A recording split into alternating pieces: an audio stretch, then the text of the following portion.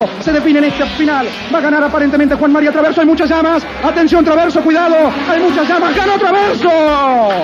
Primero Traverso, segundo Silvio Oltra. Existen muchos autos que en Argentina prácticamente ya han desaparecido. Recuerdo que hace 15 años, acá en Córdoba, se veían por las calles muchos Peugeot 504, muchos Fiat 147, ni hablar del 128. Se veían también muchos Fiat Duna, pero en la actualidad la realidad es otra. Muchos de estos autos ya son prácticamente historia y cuando esto comienza a suceder, se puede empezar a considerar a estos coches como vehículos de colección. Y eso no lo digo yo, sino que lo dicen los precios en los que muchos de estos autos que están inmaculados se venden, arriba de los 10 mil dólares. Es por esta razón que te traeré una serie de 10 videos, escuchaste bien, 10 videos, hablando de los autos que fueron leyenda en los 80 y los 90. Ya sabemos que en la época de los 70 hubo mucha competencia de potencia, tenemos Valiant, Rambler, Ford Falcon, Torino, Chevy, Dodge, etc. Pero años 80 y 90 empezaron a entrar muchas competencias de afuera, influencias extranjeras, auto latina, muchos autos que hoy son recordados con mucho cariño. Esto me va a dar un montón de trabajo el hacerlo. Espero que de verdad les guste. Ustedes ya saben cómo se valora el trabajo de una persona que hace videos. Y también comentándome, ¿por qué no? Cuáles fueron sus experiencias con estos tremendos autos. Vamos a comenzar con una verdadera leyenda. Una leyenda de los años 90. Esta es la Coupé Fuego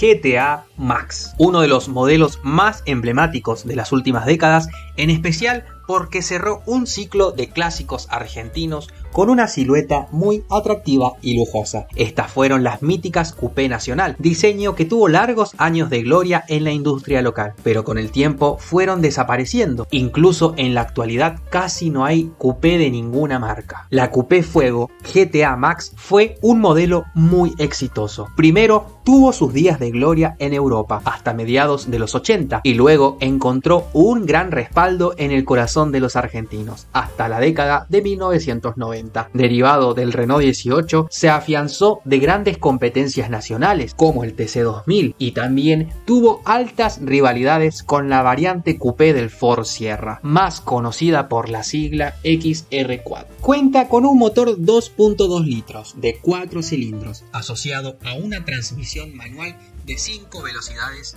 y sí, tracción delantera. Esta tremenda máquina venía equipado con lo mejor. Doble salida en el caño de escape, llantas de aleación de 14 pulgadas, neumáticos de perfil bajo, desempañador trasero, radio AM, FM con pasa cassette, aire acondicionado, faros rompenieblas, freno a disco en las cuatro ruedas y suspensiones reforzadas entre lo más destacado. Y esta es la parte más interesante. El precio actual de una coupé Renault Fuego GTA Max ronda entre los 10 mil y los 16 mil dólares. Solo un verdadero fanático adinerado podría darse el lujo de comprar este tremendo clásico. Se define en esta final. Va a ganar aparentemente Juan María Traverso. Hay muchas llamas. Atención, Traverso, cuidado. Hay muchas llamas. ¡Ganó Traverso! Primero Traverso, segundo Silvio Oltra. Pasemos a otro clásico que Ford trajo a nuestro país, el Ford Sierra Guía. El Sierra Guía salió a la venta el 30 de junio de 1984 y su llegada convulsionó al mercado nacional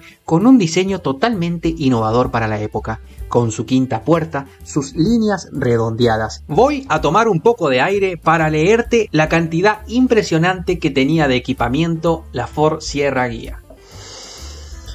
Su equipamiento estaba compuesto por lámparas de halógeno, lavafaros eléctricos, parabrisas laminado, techo corredizo translúcido e inclinable, lava limpia luneta, radio AM, FM y cuatro parlantes, antena eléctrica, llave de puerta e ignición con iluminador incorporado, reloj analógico y digital multifuncional, limpia parabrisas intermitente de pausa variable, tablero de instrumentos de iluminación selectiva, panel de luces de aviso, la cual están compuestas por seis luces que indican desgaste excesivo de las pastillas de freno, bajo nivel de líquido refrigerante en el motor, bajo nivel de líquido de limpia parabrisas, bajo nivel de lubricante del motor y colocación de cinturones seguridad, módulo de información gráfica, portacassette eyectable, regulación de la altura y aproximación del volante, regulación del conductor con ajuste lumbar, botiquín de primeros auxilios, tapa protectora del gato hidráulico, traba eléctrica de puertas, levanta cristales eléctricos en las cuatro puertas, retardador de luces de cortesía, aire acondicionado integral, dirección de potencia, dos versiones de transmisión manual, una de cuatro y otra de cinco velocidades, y como opcional una automática de tres velocidades, suspensión independiente en las cuatro ruedas e incorporado el motor 2.3 centímetros cúbicos de 105 caballos de vapor, entre otras cosas. Una máquina muy adelantada a su tiempo y me atrevo a opinar y a decir que trae mucho más equipamiento que los 0 kilómetros que hoy nos ofrecen. El precio de un Ford Sierra, obviamente hablando en condiciones inmaculadas, ronda más o menos los 12 mil dólares. Tiki-taka. Ahora pasaremos a otra gran leyenda, Torino, ZX Gamma. La historia de la última serie del Torino nació en 1979, cuando se lanzó la Coupé ZX e incorporó, para decepción de muchos, el logo de Renault en la trompa en reemplazo del clásico Toro. Entre otras mejoras, más allá de las estéticas, la ZX montaba llantas de aleación de 14 pulgadas en reemplazo de las 15 previas, y algunas mejoras mecánicas, entre ellas la adopción del encendido electrónico. Las mejoras eran pocas, pero muy significativas para el ojo entrenado, e incluyeron muchos componentes compartidos con el moderno Renault 18, aunque colocados en una base de mayor tamaño para darle la altura requerida. Otra de las mejoras estaba en la incorporación de luneta térmica, algo que nunca había estado presente en la vida del toro. Asimismo, para reducir los ruidos aerodinámicos, los ventiletes de las puertas pasaron a ser fijos. De todas formas, en las coupé el aire acondicionado y la dirección asistida eran de serie, así que había dejado de ser una necesidad el tema de los ventiletes. Entre otros ligeros cambios, quizás los más perceptibles, estaba en la paleta de colores, que incorporaba nuevas tonalidades, muchas de ellas metalizadas y que eran compartidas por la más moderna gama de Renault. Si bien mantenía su instrumentación principal, los marcos abandonaban por primera vez el formato clásico del Torino, viéndose además más modernos gracias a una tipografía más gruesa y colores vivos en las agujas.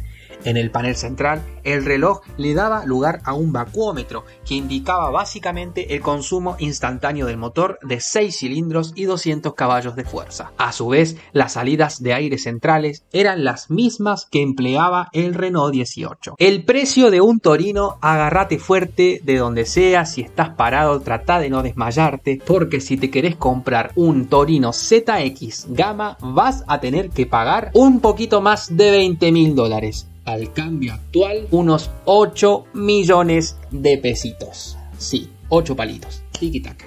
¿Te estás aburriendo? Espero que no. Aguanta un cachito. Quedan los dos últimos autos. Y este es una leyenda total. Ford Falcon Guía. En 1982 y con 20 años de antigüedad, el Falcon recibió un total rediseño para ponerlo a tono con la situación del mercado automotor argentino, con recientes lanzamientos de otros autos como el Renault 18 y el Peugeot 505. El 2 de agosto de 1982, un nuevo Falcon salía a la luz en la línea de montaje de Pacheco fueron modificados para golpes, parrillas, luces, molduras laterales, panel trasero, panel de instrumento, apoyacabezas delanteros y el volante de dirección. El nuevo Falcon contaba con aire acondicionado incorporado en la plancha lo que demandó un arduo desarrollo para conseguir un mayor espacio interior. El tablero del Falcon es flaquito, así, imagínate, tenías que meter todo ahí para que funcionara el aire acondicionado. La denominada línea 82 fue lanzada en versiones estándar, deluxe y guía, reemplazante del Futura. En tanto, se dejaron de fabricar las versiones taxis y Sprint. Los motores continuaban siendo los 6 cilindros, 3.0, 3.6 y 3.6 SP. Y como novedad, se agregó un motor de 2.3 litros de 4 cilindros naftero que se colocaba en todos los estándar y opcional en el deluxe pero fue discontinuado totalmente en 1983 debido a quejas de los clientes, ya que este motor no tenía fuerzas para mover tremenda, tremenda máquina. En cuanto a transmisiones, continuaba la tradicional caja manual de 3 y 4 marchas, más la novedad de una transmisión automática de 3 velocidades, con comando en el piso o en la columna de dirección. Con todas estas novedades y opciones, el Falcon resultó ser el automóvil más vendido del mercado argentino en 1983, con 22.060 unidades entregadas. Una barbaridad. En 1985 las ventas comenzaron a caer drásticamente. Ford se vio obligada a reducir sí o sí el costo de fabricación, teniendo que abaratar componentes para seguir con un precio competitivo. Es por eso que se dejó de poner el motor 221, el 3.6 SP. Se eliminaron los tapizados de cuero. El guía perdió su techo vinílico y también se dejó de ofrecer la transmisión automática. Y para mí lo más triste es que las manijas dejaron de ser cromadas para pasar a ser de plástico negro. Eso es como que fue la transición y la muerte de todo lo cromado para pasar a todo lo que hoy conocemos, el plástico. El precio de un Ford Falcon guía inmaculado con el aire congelando con las cuatro manijas de plástico negra enteras ronda más o menos los 13 mil dólares. Todo esto obviamente lo vi en concesionarias que se dedican a autos clásicos y precios que están en Mercado Libre. Por fin, por fin llegamos al final de este video con el último coche clásico, que es una masa. El Peugeot 405 SR.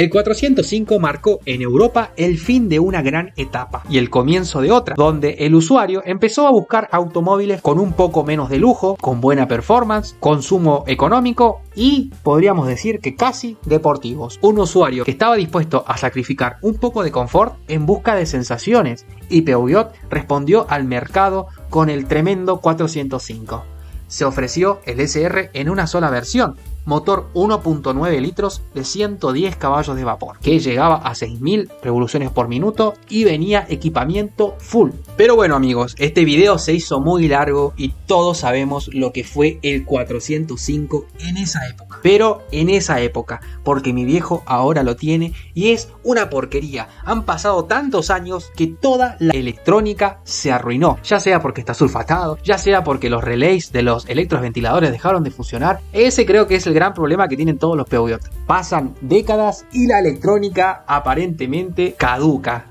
pero no deja de ser un autazo cuando está bien, bien cuidado. Su precio más o menos es de unos 6 mil dólares, casi un millón y medio de pesos. Espero que les haya gustado este video. Como les repito, me costó mucho trabajo hacerlo. Y si yo veo que a ustedes les gustó, ya saben cómo demostrármelo. Les voy a subir la segunda, tercera, cuarta, quinta, sexta, séptima, octava, novena y décima parte. Se vienen coches increíbles.